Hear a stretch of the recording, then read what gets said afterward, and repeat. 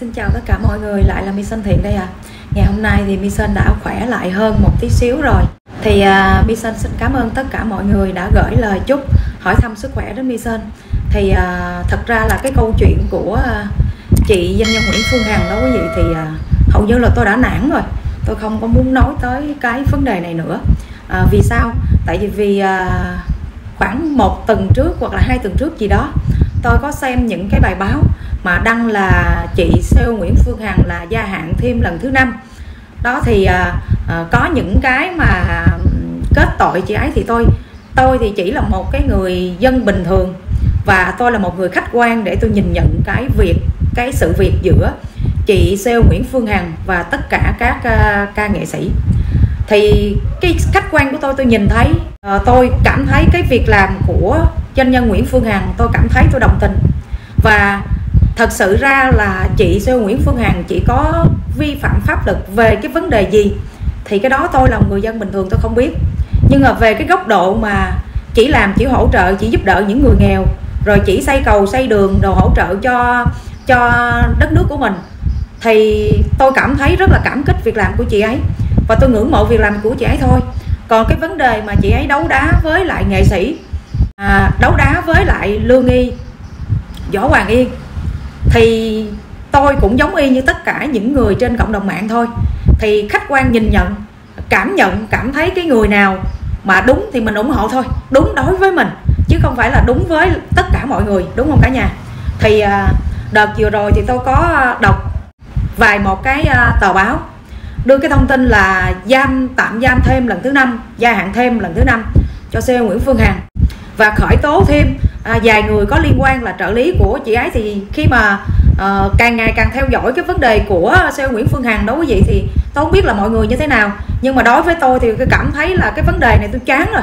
Tôi không có còn muốn theo dõi nữa tại vì càng ngày càng theo dõi tôi cảm thấy tôi càng thất vọng. Thì giống y như hồi nãy tôi đã nói là tôi không biết là CEO Nguyễn Phương Hằng đã vi phạm pháp luật về cái vấn đề gì thì tôi không biết. Nhưng riêng về cái vấn đề mà chị vạch trần cái việc mà những người mà kêu gọi từ thiện không minh bạch, thì cái việc làm đó tôi ủng hộ. Còn những việc làm của chị ấy giúp đỡ những người nghèo, tôi ủng hộ. Còn cái việc mà chị ấy la làng lên là lương y võ hoàng yên là chữa chữa trị bệnh không hết, là lừa đảo tất cả những người trên mạng, tự xưng cho mình là thần y, thì tôi tin, tôi ủng hộ việc làm đó. Còn cái vấn đề mà, cái việc mà ví dụ như là binh vực với nhau à, bên youtube bên đây rồi chửi lộn với lại youtube bên kia thì đó là cái việc của mỗi người không có liên quan tới tôi. Nhưng mà vì sao ngày hôm nay tôi thật sự ra là tôi vẫn còn đau họng lắm quý vị tôi nói chuyện chưa có rõ lắm. Nhưng mà tôi vô tình tôi uh, xem được cái trên một cái uh, kênh youtube của đinh lan. Thì uh, đinh lan có nêu 41 kênh chuẩn bị khởi tố vì đã có liên quan ủng hộ CEO Nguyễn Phương Hằng thì tôi thấy cái này nó vô lý quá quý vị vì cái vấn đề mà Đinh Lan với lại uh, em Điền Võ uh, với lại em Lạc Phong thì uh, tất cả thì dĩ nhiên thì uh, chửi qua chửi lại mà. Chửi qua chửi lại thì uh, ví dụ như là Đinh Lan Điền Võ Lạc Phong cứ thưa kiện nhau thì cái đó là chuyện của mỗi người. Đâu có dính dáng gì tới tôi đúng không quý vị? Cái lý do tại sao mà Đinh Lan lại kêu tên ra là ừ trong 41 kênh là sẽ bị uh, sắp tới là sẽ bị công an bế vì có liên quan và nằm trong cái đường dây là tổ chức của bà Hằng đồ này kia thì tôi cảm thấy nó vô lý quá, cho nên ngày hôm nay tôi lên tôi trả lời cho Đinh Lan. Nếu như mà có xem được cái clip này của tôi tôi không biết là cô có hiểu lực tôi không biết là cô tài giỏi tới đâu. Nhưng mà cô hãy nghe tôi nói nha. Thì trước khi mà đi vào cái câu chuyện để tôi chia sẻ đến tất cả mọi người, vì à, tôi nghĩ rằng không phải ai cũng nắm được cái à, câu chuyện này. À, lý do tại sao ngày hôm nay mà tôi lên tôi ngồi tôi nói như thế này? Vì trên cái trang, trên cái kênh của Đinh Lan, trên cái tab cộng đồng thì à, Đinh Lan có à, đăng cái nội dung như thế này đây quý vị. Thì à, trước khi để mà tôi vào tôi trả lời cái phần của Đinh Lan, thì tôi xin chia sẻ đến tất cả mọi người là Đinh Lan có ghi trên cái tab cộng đồng của mình với cái nội dung như thế này. Cho nên vì cái nội dung này, cho nên ngày hôm nay tôi mới ra cái clip này để mà tôi trả lời Đinh Lan đây quý vị. Thì trước khi mà tôi chia sẻ cái nội dung của Đinh Lan thì tôi xin nói như thế này. Cái vấn đề mà ví dụ như của CEO Nguyễn Phương Hằng và Đinh Lan là một cái người mà yêu mến nghệ sĩ hay ai đó là quyền của Đinh Lan không có liên quan gì tới tôi cả. Còn cái việc mà ví dụ như tôi yêu mến tôi ủng hộ cái việc làm của chị CEO Nguyễn Phương Hằng đó cũng là việc của tôi nó không có liên quan gì cả. Còn ví dụ như ai có vi phạm pháp luật hay không thì cái việc đó pháp luật họ biết chứ không cần mình phải cầm đèn chạy trước ô tô. Còn cái vấn đề mà nếu như mà những người mà ủng hộ à, ủng hộ cái việc làm của CEO Nguyễn Phương Hằng thì tất cả những người ủng hộ đó đều vi phạm pháp luật. Nói cái điều này là tôi hoàn toàn phản đối nha quý vị. Tại vì những người mà ủng hộ xe Nguyễn Phương Hằng là người ta thấy được cái mặt tốt của chị ấy là cái mặt là chị ấy giúp người. Chứ người ta không có hề thấy là chị ấy hại hay là lừa đảo bất kỳ một ai. Thì chính bản thân tôi cũng vậy. Tôi thấy cái mặt tốt đẹp đó là như vậy. Còn cái mặt trái, chị ấy có vi phạm pháp luật hay không? Chị ấy là người xấu như thế nào? Chúng tôi không có biết thì làm sao mà nói là cái vấn đề những người mà ủng hộ CEO Nguyễn Phương Hằng là những người vi phạm pháp luật? Và nên nhớ rằng là cái kênh của tôi là từ nay lâu lắm rồi tôi không có nói về cái vấn đề này. Tại vì đối với tôi đến thời điểm này nó này nó đã đủ. Vì cái việc mà nghệ sĩ có, có ăn chặn tiền từ thiện hay không có rõ ràng minh bạch hay không thì cái việc đó chính bản thân của chúng ta chính bản thân của những người trên cộng đồng mạng những người đã theo dõi trên cái vụ việc này không cần biết là những người đó có vi phạm về mặt pháp luật hay không. Nhưng mà à, trong suy nghĩ của chúng ta thì mỗi người đã có một cái câu trả lời mỗi người đã có một cái đáp án đúng không ạ? Thì đâu có thể nào bắt buộc là những người ủng hộ xe Nguyễn Phương Hằng là vi phạm pháp luật đúng không quý vị? Thì qua một cái bài báo như thế này mà Đinh Lan chia sẻ trên cái bài báo lao động là khi mà chia sẻ bài báo này là cho rằng tiếp theo sẽ là tất cả những người mà những cái kênh đó, ủng hộ CEO Nguyễn Phương Hằng là sẽ bị vi phạm pháp luật tiếp. Còn nói về cái góc nhìn mà du khống hay là à, đi đến tận nơi để mà bịa đặt để bịa chuyện ra để mà du khống cho người khác á thì tôi nghĩ là Đinh Lan là một cái người là giỏi hơn và đã có những cái clip mà Đinh Lan tới tận cái à, khu du lịch Đại Nam và cái miệng cứ bô bô lên rằng là à, Đại Nam đã bán cho chủ khác Đại Nam đã bán cho người khác cũng ta bán cho người khác cũng kệ người ta đúng không? Còn cái vấn đề tôi có bao giờ mà tôi tới tôi nói ờ à, tôi tới nhà của một cái nghệ sĩ nào đó mà đã bị kêu cái tên là sao kê minh bạch tôi đến tôi khẳng định là tôi nói rằng à cái người nghệ sĩ này là lừa đảo cái người nghệ sĩ này là ăn chặn tiền từ thiện. Tôi có bao giờ tôi đến nhà của những người đó mà tôi nói như vậy hay không? Còn cái việc mà tôi nghi là họ không có rõ ràng. Tôi nghi rằng họ có ăn chặn nên nhớ là cái từ nghi nha đinh lan. Nhớ là nghi nha. Thì đó là tôi có quyền và tất cả những người khác người họ có quyền. Cái đó là vi phạm pháp luật hả? Đinh Lan học ở trường nào vậy? Tôi nghe nói hình như là Đinh Lan cũng là cũng đã từng học à, bên uh, luật sư ra rồi đúng không? Nếu học trong luật sư ra thì cái luật nào cái luật nào mà cái câu mà nghi ngờ là vi phạm pháp luật vậy? Đúng không quý vị? Thì bây giờ không để quý vị chờ lâu, tôi sẽ chia sẻ một cái bài báo như thế này. Mà cái bài báo này, Đinh Lan sẽ cho rằng 41 kênh YouTube ủng hộ CEO Nguyễn Phương Hằng là tiếp theo sẽ bị bế giống y hệt như là ba người trợ lý của ờ, CEO Nguyễn Phương Hằng đó quý vị. Đây, cái bài báo trên tách cộng đồng mà Đinh Lan chia sẻ trên cái ờ, nội dung ờ, của mình đó quý vị. Thì báo báo lao động có đăng tải vào ngày 2 tháng 12 năm 2022 nha quý vị à, có cái tiêu đề là bị khởi tố vì múa phụ họa cho Nguyễn Phương Hằng một bài học cho bất kỳ ai. Vụ án liên quan đến bà Nguyễn Phương Hằng tổng giám đốc công ty cổ phần Đại Nam đã được mở rộng điều tra. Cơ quan điều tra xác định Nguyễn Thị Mai Nhi 39 tuổi ngụ quận 12 Nguyễn Thị Thu Hà 30 tuổi Quỳnh Công Tân 28 tuổi cùng ngụ ở tỉnh Bình Dương đã giúp sức tích cực cho bà Hằng thực hiện hành vi phạm tội liên tục nhiều lần trong thời gian dài gây bức xúc trong dư luận. Động tới đây tôi thấy mắc cười quý vị. Giúp sức nhiều lần. Bây giờ làm cho bà chủ bà chủ trả lương. Thì bà chủ sai sao làm vậy? Tôi thú thật với lại quý vị nha. Có những người tổng giám đốc công ty, có những người chủ tịch tập đoàn công ty luôn. Họ rất là mù về cái phần công nghệ. Tại sao mà họ thuê nhân viên? Tại vì họ có cái đầu để mà họ làm ăn, họ tính toán về mặt kinh doanh nhưng mà về cái vấn đề công nghệ, họ mù tịch họ không biết. Thậm chí có những người tổng giám đốc, chủ tịch tập đoàn không biết một chữ tiếng anh bẻ làm đôi nó làm sao luôn quý vị. Nhưng mà thuê những người nhân viên rất là giỏi về tiếng anh, rất là giỏi về công nghệ. Vì sao? Tại người ta là chủ, đúng không quý vị? Mà thuê nhân viên, thì kêu nhân viên nó làm mấy này thì diễn viên nhân viên nó phải làm rồi. Sao dùng dùng cái từ là tiếp sức tích cực cho bà Hằng cho hành vi phạm tội? Má ơi, kỳ cục cái này tôi không biết về luật nha quý vị. Nếu ai biết về luật thì à, phân tích rõ để tôi hiểu hơn. Còn tôi là một người dân bình thường thì cái sự cảm nhận và sự hiểu biết của tôi tôi biết là cái này không có gì gọi là giúp sức hay là à, tiếp sức để mà vi phạm pháp luật cả. Chỉ có là chủ sai sao làm vậy thôi. Cái việc này rất là bình thường. Theo tôi tôi nghĩ là như vậy. Tiếp theo ngày 30 tháng 11 cơ quan cảnh sát điều tra công an thành phố quyết định khởi tố bị can cấm đi khỏi nơi cư trú ra lệnh khám xét đối với Nhi, Hà và Tân về tội lợi dụng các quyền tự do dân chủ xâm phạm lợi ích của nhà nước quyền lợi ích hợp pháp của tổ chức cá nhân.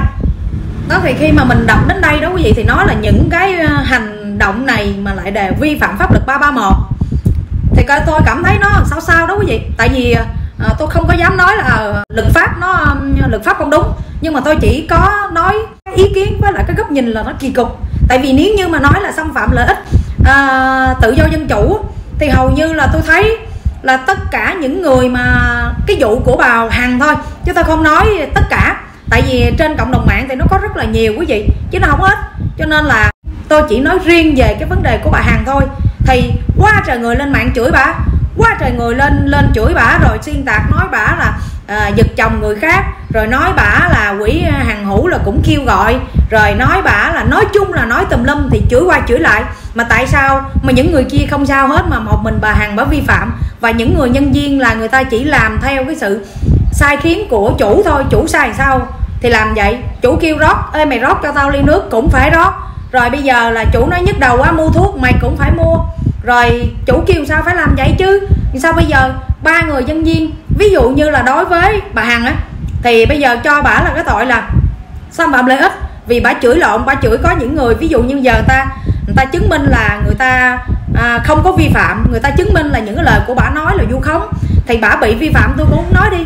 Còn ba người nhân viên là chỉ là nhân viên ăn lương thôi mà sao tự nhiên khép vô tội như vậy thì tội nghiệp ta? Rồi tiếp theo nha quý vị, Nguyễn Phương Hằng tổ chức những cuộc livestream có nội dung xúc phạm nghiêm trọng đến uy tín, danh dự cá nhân của nhiều người nổi tiếng. Nguyễn Phương Hằng là nhân vật chính, là người tổ chức chương trình, là diễn viên chính, là người đọc diễn. Còn Nguyễn Thị Mai Nhi nè, Thu Hà với Công Tân là nhân viên. Ship sai Việt thì làm bưng bê, điếu đớm múa phụ họa nhưng những việc làm đó là hành vi vi phạm pháp luật được xác nhận là đồng phạm với bà Nguyễn Phương Hằng, cùng lợi dụng các quyền tự do dân chủ, lợi ích hợp pháp của nhà nước, cá nhân. Có lẽ khi đi theo bưng bê cho bà Nguyễn Phương Hằng, chuẩn bị sân khấu để bà Hằng livestream, đăng tải nội dung xúc phạm trên trang cá nhân và phục vụ cho bà Hằng phát ngôn xúc phạm cá nhân. Những người này không ý thức được mình phạm tội, lợi dụng quyền tự do dân chủ, vi phạm lợi ích của nhà nước, quyền tổ chức cá nhân. Có điều không ai được quyền nói mình không biết pháp luật, mà mọi người công dân đều phải chấp hành pháp luật và chịu trách nhiệm trước pháp luật. Dùng cái từ này là không đúng nha quý vị. Bài báo viết như thế này, tôi không đồng ý cái câu này đây quý vị. Có điều, không ai được quyền nói mình không hiểu biết pháp luật. Nói vậy là sai. Bây giờ ví dụ như những người có học, những người làm việc tiếp xúc với những người lớn quan chức và những người mà có địa vị ngoài xã hội thì người ta mới biết một chút về pháp luật. Còn nếu như biết rõ về pháp luật, chỉ có luật sư với lại những người làm trong ngành nhà nước, công an, quân đội, thì những người đó đã được học qua luật. Thì dĩ nhiên những người đó phải biết. Còn dân bình thường, làm sao người ta biết mà dùng cái từ là có điều không ai có quyền nói mình không hiểu pháp luật? Nói vậy là sai, nói vậy là phủ đầu. Ví dụ những người mà người ta chưa từng đi học, những người mà người ta ở quê trên rừng, trên rú, không biết cái chữ nó làm sao nữa mà bắt buộc người ta phải hiểu hết luật. Tôi xin lỗi nha. Những người mà làm trong ngành luật, mà mỗi năm mỗi cái luật, quy định của luật đều thay đổi liên tục. Nếu như những người làm trong ngành nhà nước, nếu như những người cán bộ nhà nước mà không có đi tập huấn, không có đi học thêm, không có đi học để bổ sung thêm kiến thức, thì tôi bảo đảm với lại quý vị, thậm chí những người làm trong nhà nước còn không nắm rõ được tất cả những luật nữa huống chi người ta người dân bình thường. Báo đăng nói kiểu này làm sao được, đúng không quý vị? Tôi phản đối câu này nha. Nói vậy là sai. Giống như bắt buộc tất cả những người dân phải hiểu hết luật. Đâu ra vậy? Cuộc sống mưu sinh của người ta. Làm kiếm cơm hàng ngày để có ba bữa cơm còn chưa xong. Lấy đâu ra để tìm hiểu, để biết lực đúng không quý vị? Chỉ có cái nói như thế này tôi đồng ý nè. Dù là bất kỳ người nào đi chăng nữa, cũng phải tuân thủ tuân thủ là cái gì? Là không vi phạm pháp luật nè, không cướp của giết người nè. Còn cái quy định pháp luật 331 hầu như là tất cả những người dân mới biết được con năm. Có một năm một duy nhất thôi, còn trước đó nó đâu có cái quy định này. Hoặc không có ai biết về cái quy định này hết. Làm sao mà bắt buộc tất cả những người dân, vậy những người mà cũng diễn viên đó, lên cũng chửi nhau, chó ché rồi nói tục, rồi chửi người này, chửi người kia, chửi bàn quá trời đó, làm sao? Đúng không quý vị? Cái này tôi đang nói về vấn đề của bà hằng thôi, chứ không phải là người ta chửi mình. Nhưng mà làm như vậy đâu phải một mình bà hằng sai, đúng không? Rồi đọc tiếp nha quý vị. Cơ quan điều tra tiếp tục mở rộng vụ án và có thể một số người sẽ bị khởi tố, múa phụ họa cho bà Nguyễn Phương Hằng. Sẽ tăng lên. Đây là tiếng chuông cảnh báo cho những người, nhất là khi lên mạng xã hội, đang chi phối hoạt động của đời sống. Đọc cái này nè là Đinh Lan dựa vô ngay chỗ cái câu này nè là sẽ cho rằng là tất cả những người mà ủng hộ bà CEO Nguyễn Phương Hằng à, là sẽ bị à, khởi tố tiếp tục giống y như là ba người à, nhân viên của bà Hằng đó quý vị. Dùng cái từ là múa minh họa. Thật ra là những cái người mà những cái kênh đó, người ta ủng hộ bà Hằng là người ta ủng hộ những việc làm tốt thôi chứ người ta không có làm bất kỳ một cái gì gọi là vi phạm cả thật sự ra giống y như là quý vị coi tôi từ trước tới bây giờ. Tất cả những cái clip của tôi có bao giờ tôi khẳng định rằng tất cả những người đó vi phạm pháp luật, đúng không quý vị? Tôi chỉ công nhận là những cái gì của bà Hằng nói. Nó có lý và tôi ủng hộ. Và tôi cũng nghi ngờ những người đó có ăn chặn tiền từ thiện. Tại vì với một cái góc độ là đời sống kinh tế rất là khó khăn.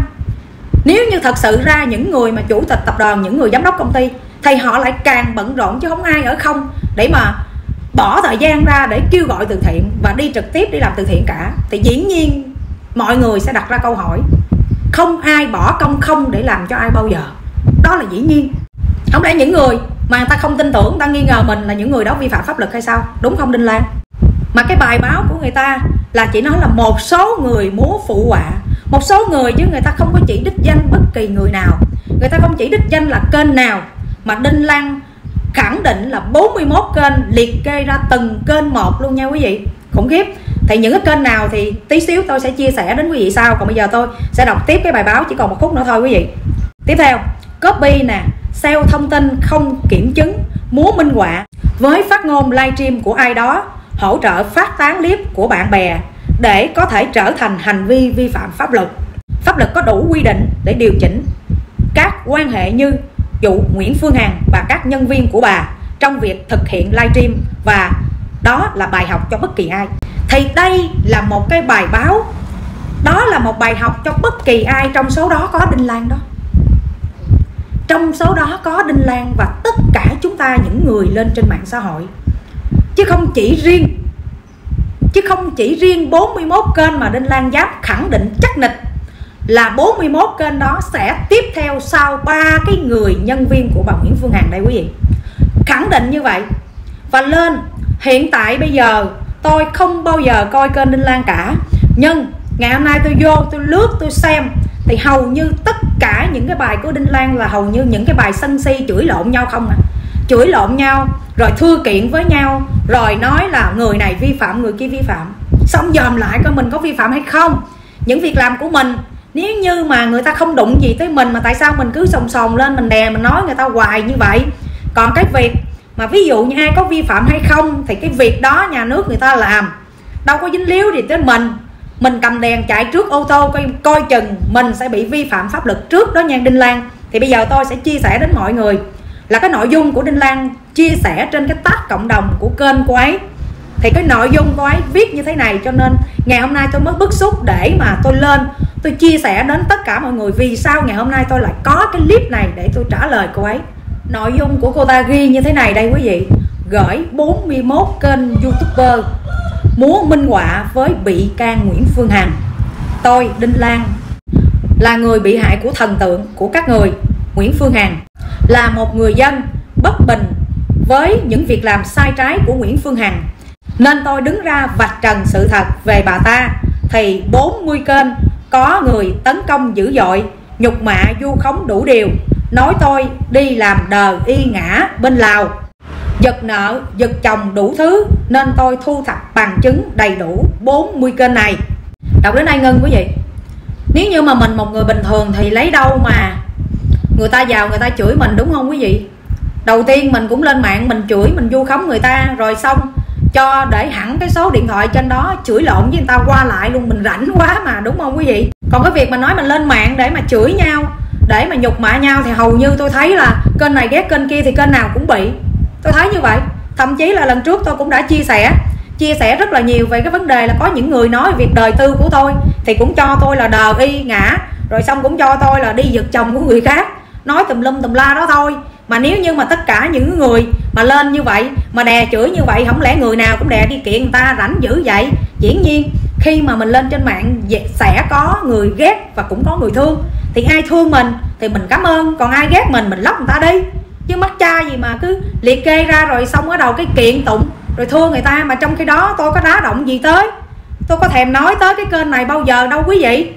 Chỉ có cách đây là gần một năm về trước tôi nói à, tôi nói về à, đinh lan về cái clip của à, mai xuân cường. Là tôi chỉ có làm hai clip đó thôi, nhưng mà hai cái clip đó nó bị dàn tiền rồi, cho nên tôi cũng xóa mất tiêu rồi quý vị. Tôi đâu có thèm nói tới cái vấn đề của cái cô đinh lan này, tại vì tôi thấy cô này xàm quá. Tôi thật sự ra tôi không thích. Tôi không thích là tôi sẽ không bao giờ nói tới ai nữa. Còn cái vấn đề của à, xe Nguyễn Phương Hằng hầu như là nó đã im xuôi hết rồi.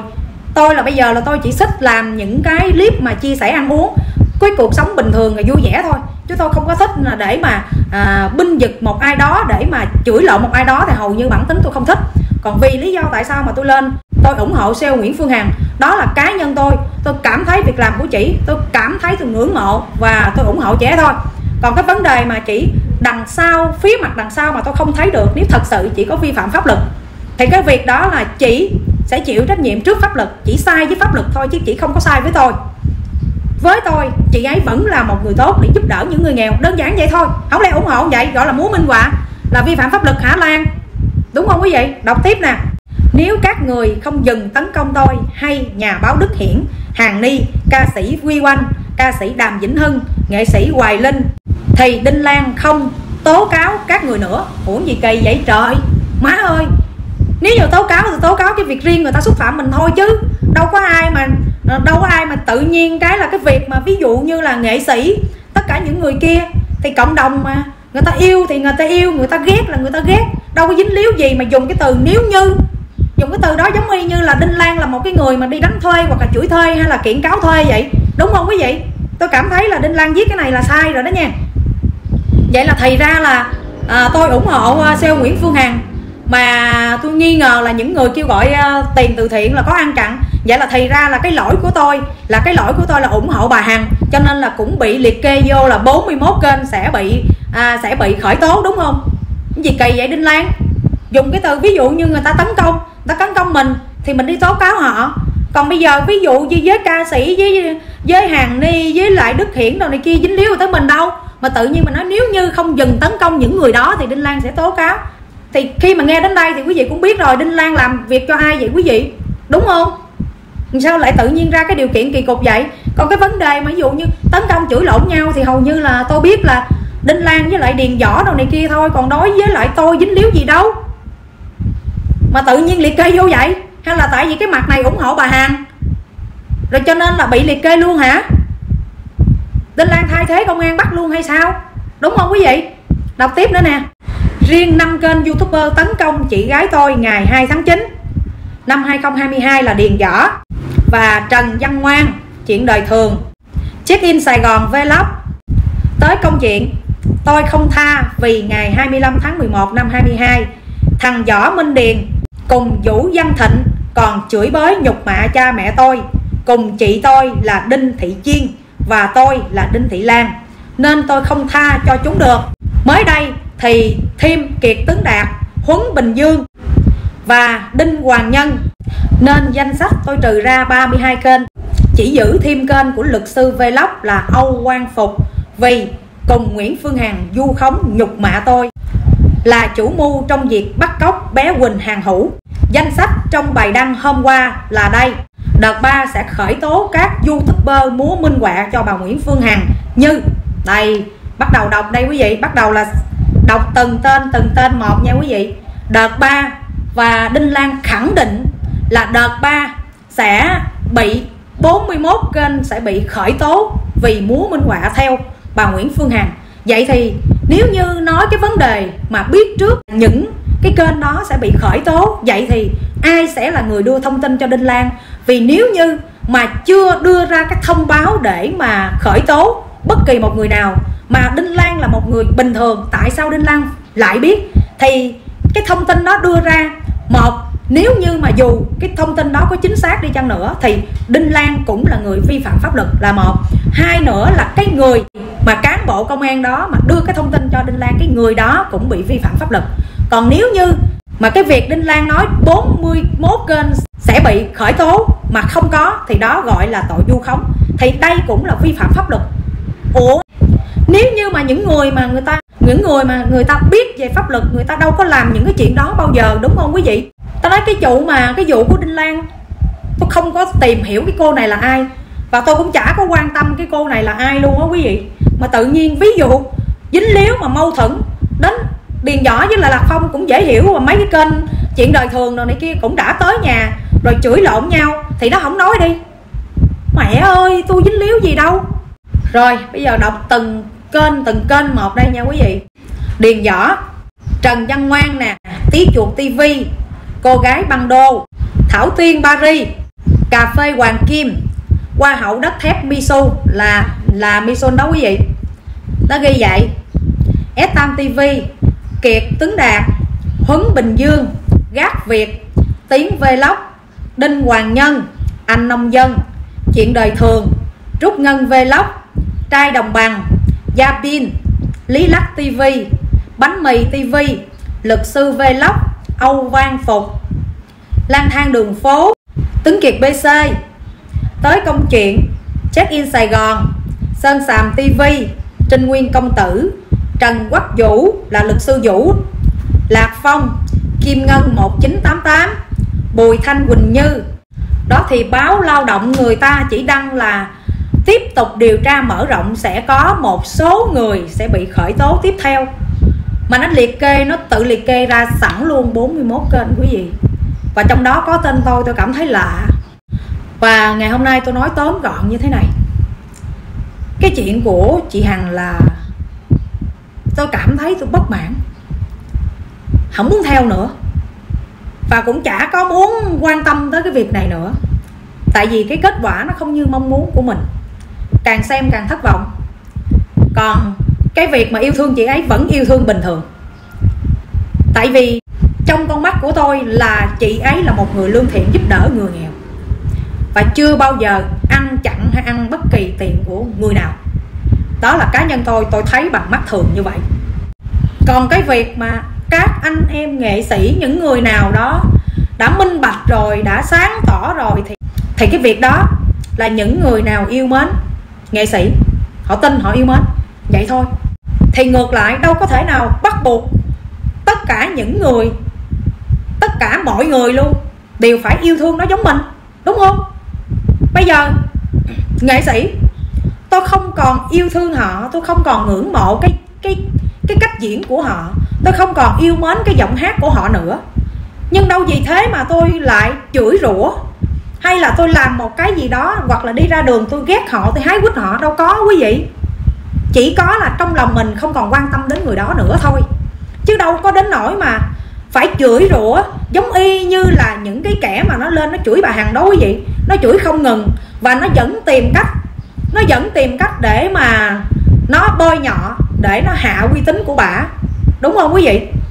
Và trước đây tôi cũng đã nói một hai lần gì đó rồi nếu đặt trường hợp tôi là bà hằng, tôi giàu như bà, tôi xinh đẹp như bà, tôi chỉ lo cho gia đình tôi tôi hưởng thụ cho bản thân tôi tôi đi du lịch khắp nơi, để cho cả nhà tôi cùng hạnh phúc. Chứ không có rảnh mà đứng ra mà lo cái chuyện bao đồng để giúp đỡ rất là nhiều người để nhờ mang bà giàu thân tôi cũng đã nói vài lần như vậy rồi. Và đến thời điểm này tôi cũng vẫn giữ cái quan điểm như thế. Thì trên đời này chỉ duy nhất có một mình bà hằng bà mới làm được điều đó. Còn ngoài ra hầu như ai cũng có cái sự ích kỷ ích kỷ để lo cho bản thân mình. Chứ không ai mà mở rộng cái tấm lòng để mà lo cho tất cả mọi người để giờ mình chuốt quả vào thân đâu. Chỉ duy nhất có một mình bà hằng thôi. Còn đinh lan nè, lý do tại sao rất là nhiều kênh cũng phản biện bà hằng đó. Mà sao những kênh đó người ta không bị tấn công nhiều, người ta không có bị chửi nhiều, mà chỉ duy nhất một cái kênh nhỏ bé của đinh lan, một cái kênh mà bé tẹo tèo teo à mà lại rất là nhiều người người ta chửi rủa mình phải xem lại cái cách sống của mình và phải xem lại cái cách ăn nói của mình nó như thế nào? Đúng không quý vị? Riêng ví dụ như những kênh nào khác thì tôi không biết. Còn kênh của tôi như vậy mà nó vẫn môi cái tên ra để nó kiếm chuyện. Để nó môi móc đang kiếm chuyện thì thử hỏi những kênh khác làm sao không chửi nó được. Đúng không quý vị? Và tôi chỉ muốn gửi đến đinh lan như thế này. Có thời gian làm ơn, lo, làm ăn đi. Lo cho cuộc sống gia đình của mình đi.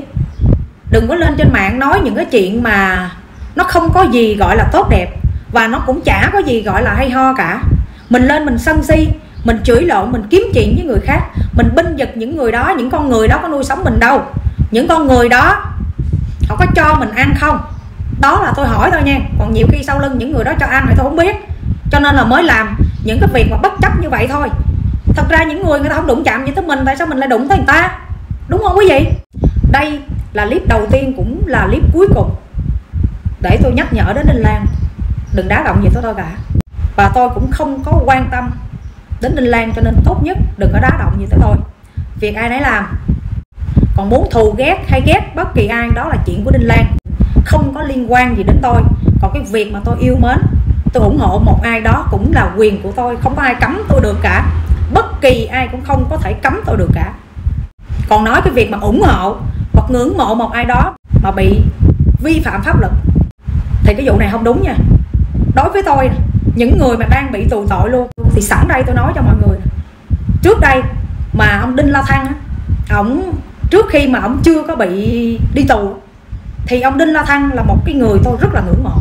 Tại vì sao? Tại vì khi mà ông đắc cử ông về củ chi tôi ông giúp đỡ cho dân củ chi tôi rất nhiều.